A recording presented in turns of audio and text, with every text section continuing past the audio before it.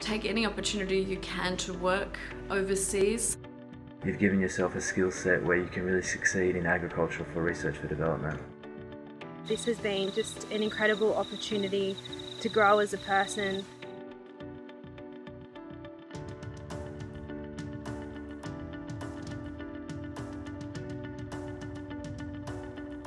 Hi, I'm Zoie Jones. My name's Anneliese. I'm Kirt and I now work in International Agriculture Research for Development.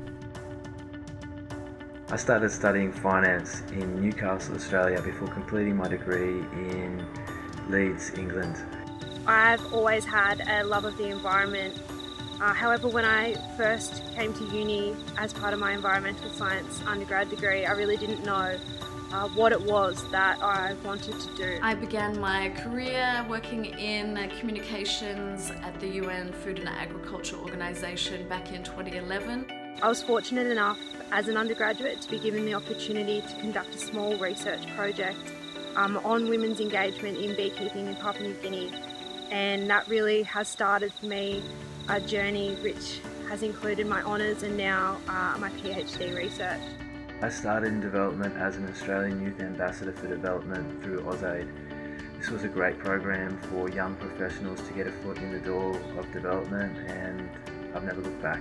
Farming is ultimately a business, so studying finance or business gives you an incredible platform for which to understand agriculture.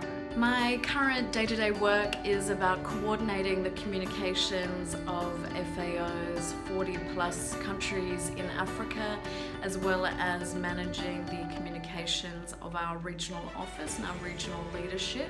My PhD research is really focused around identifying strategies to engage women in beekeeping for development projects, not just in Papua New Guinea and Fiji, um, but all around the world, and really looking at an evidence-based approach uh, to support women to achieve their beekeeping goals and aspirations, and to also have the agency um, and supportive relations within the beekeeping sector, um, which they require to be successful. One of my best memories I think in this job was when I was working for the World Food Programme in a communications role and it was shortly after the Nepal earthquake about six years ago. Witnessing up close the work that our organisation was doing was really memorable and powerful.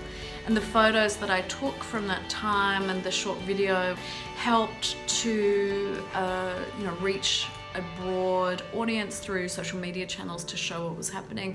I can't really imagine now doing anything outside of agricultural research for development. I love working with farmers. They are the lifeblood of rural communities.